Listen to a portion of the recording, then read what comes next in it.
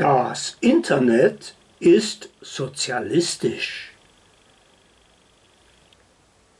Es sollte vom Mond die Rede sein, was der mit dem Meer macht, ohne jemals gefragt zu haben.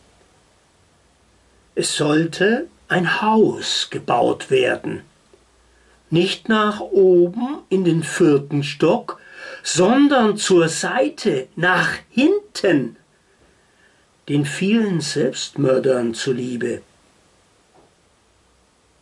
Alle Kalender freuen sich aufs umgeblättert werden, alle Straßenkehrer auf die Nacht, die Stadt auf den Fluss.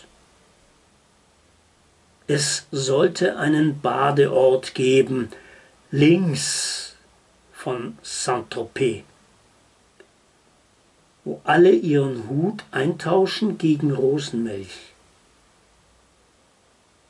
Aber gleich reich sind wir nur im Netz.